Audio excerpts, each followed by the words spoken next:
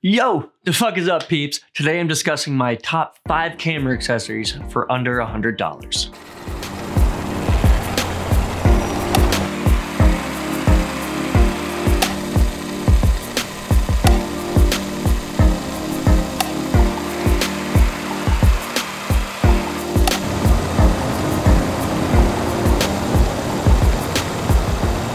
Before we get into these five accessories, let me introduce myself. I'm Paulie Dafuq, US Navy veteran, entrepreneur, content creator, and performing artist. And I've been running my own media company called PFD Media for about four plus years now. And I absolutely love what I do. And I'm very blessed to be able to do what I do. We work with a wide range of clients from businesses to event venues to even performing artists themselves. To say I'm blessed is an understatement. Anyway, before we get into the video, make sure you hit the like button, subscribe to the channel if you aren't already, hit that noti bell so you're notified when I upload, share with a peep, and while you're sharing with a peep, make sure you check on a peep because we never know what somebody's mental health is. Last but not least, uh, if you'd like to click any of the links in the description for these items, they go to links that support the channel. Um, none of these items are sponsored. They are just items I bought with my own money, and they're items I use consistently and constantly on a daily basis as a content producer. So let's dive in. Each piece serves a different but highly essential purpose. First, we have the Rode Video Micro compact on-camera microphone with a Rycote Lyre shock mount. This little microphone is an amazing upgrade from the onboard camera microphone, because we all know that is not always your best option this little camera, I, I, I, use this camera microphone consistently. I use it for events, I use it for vlogs. Um, the small form factor is easy to fit into the camera bag, as well as the mount allows for cleaner audio from bumps the camera may take or just from basic camera music. Comes with the Dead Cat windscreen, which is awesome. Um, that just helps take down some of the wind noise or any extra noise that might be going around, uh, as well as the 3.5 millimeter cable that runs from the back of the microphone into your camera, requires no batteries, and it just runs off the camera power. Uh, this is a no-brainer if you're trying to upgrade your vlog or event coverage and try to get a little bit cleaner audio. Up next, we have the IVAS G2 portable camera bicolor LED RGB 9 flash effect rechargeable LED light. This thing is a no-brainer for me. I have two of them. One lives in my camera bag constantly. The other one, you know, obviously stays at the office. Everything stays at the office generally, unless I'm traveling. Then I'll try to bring as many of these.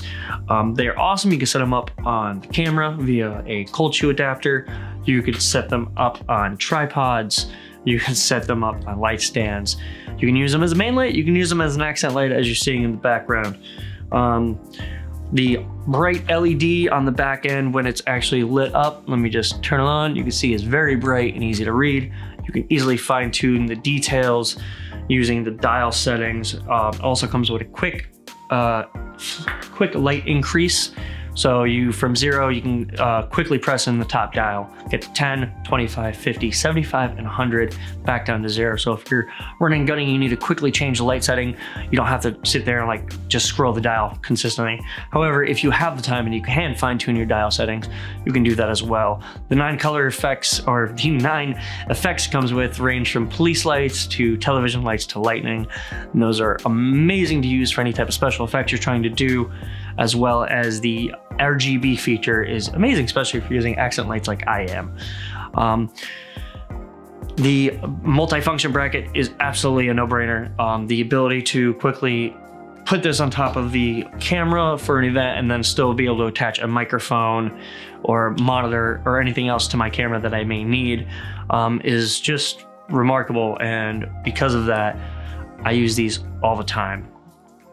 And, fun fact, they are what lit the room in Vegas for the Whiskey Kisses music video with frequency. Moving from video-centric accessories to photo accessories, we have the Neewer TT560 Speedlight, and this has become a necessity for me, uh, being a micro four thirds shooter. Uh, I work in a lot of event spaces and low light conditions because not every venue, event, or business is going to have the most adequate lighting conditions for me as a photographer when I'm providing that service to my clients. So throwing on a speed light means I don't have to rely on the standard stage lighting or lighting from inside the building. I could throw this on. It has the pop out bounce, so it's nice and easy. I don't have to carry a whole bunch of gear. Uh, it takes four AA batteries. It does have the remote option on it, and obviously your mode test on-off switch, hot shoe of the camera.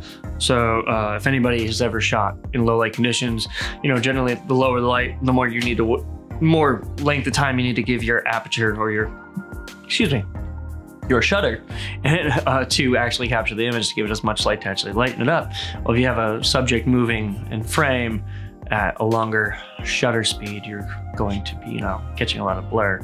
So throwing a speed light on top of the camera, help increase the light and catch those movements is just, it's always a no-brainer.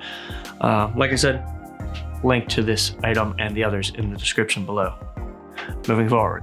From accessories that improve your videos or photos with additional light, to an accessory that will protect your photos or videos from harsh light. Um, when you're shooting in broad daylight or you're outside at any any time and you're dealing with outside conditions, uh, it can be very hard to get the proper exposure on your lens if you're not in a studio setup. You're battling the elements, and at times it's a bright sunny day. What can you do? Um, one of the things you can do is you can add variable ND. Essentially, it's kind of like sunglasses for your camera lens.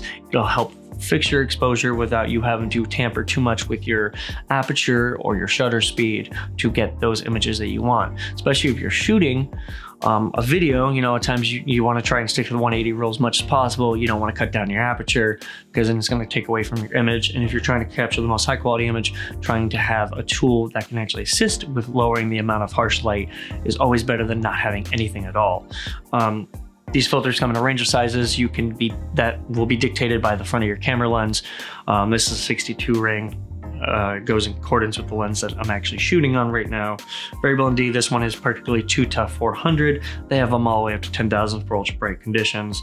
Uh, they have them in variable and non-variable lenses, and the company Gobe that actually makes this filter will plant up to five trees per every item you buy from them. So uh, I have three separate camera lens filters that all came from Gobe that I've personally bought, and I've planted 15 trees in areas heavily impacted by deforestation. Not to mention this is made from 100% recycled goods, which is amazing and really helpful to the environment. Yet again, not being paid to say any of this. You know, these are my personal feelings, personal gear that I've bought. I like link in the descriptions below, and I will get a commission off that if you do buy. However, not being sponsored by anybody. Last but not least is the Kansei 323 quick release plate, and I'm not sure if I pronounced that correctly. This little thing is awesome, uh, especially for moments when you need to, you know, replace a battery in a camera like I did five seconds ago. And thanks to this being on the tripod and the bottom of the camera body, I was able to do it quickly and effectively without having to take any type of tool out to take off a, a plate and get it out of the way.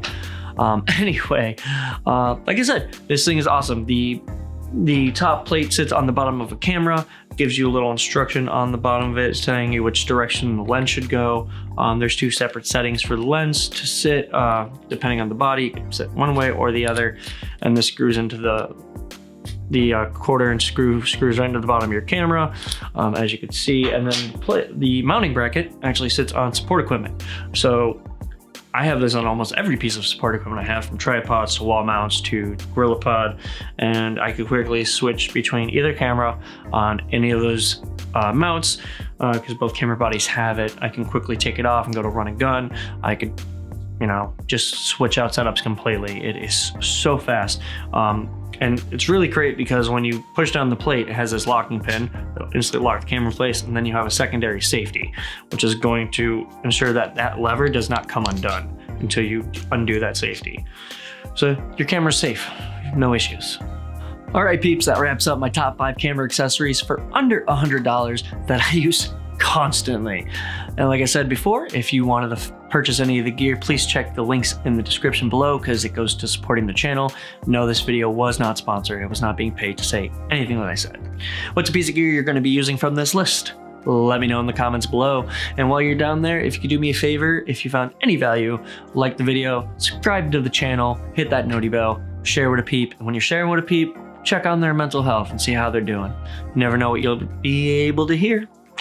Anyway, I'll see y'all in the next video. Peace the fuck out. Bye.